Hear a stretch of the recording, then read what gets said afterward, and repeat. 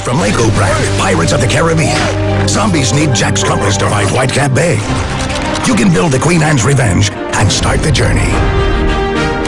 Jack's got his compass back.